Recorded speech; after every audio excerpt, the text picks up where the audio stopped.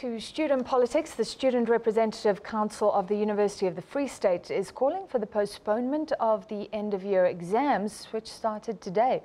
This follows the arrest of 37 protesting students on the main campus in Bloemfontein on Friday after clashes with campus security.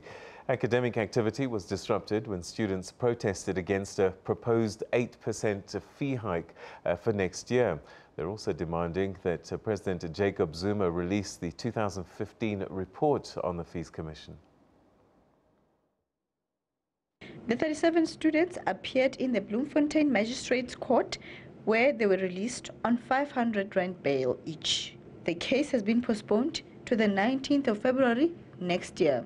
On campus, police prepared for any disruptions while students met to map the way forward. We want also the president to know that he is not aiding the process of academics around the country by withholding on the report. If anything, it is worsening issues.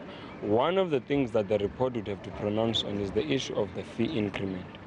In the absence of that report, we have had universities propose to increase fees because there is no form of guidance in the sector. The university has offered counseling services to students traumatized by the alleged assault by private security personnel.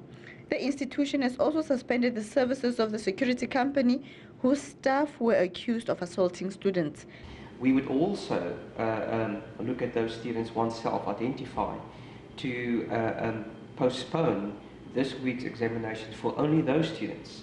The South African Union of Students has called on President Jacob Zuma to make a pronouncement on fee-free education before Wednesday's midterm budget speech.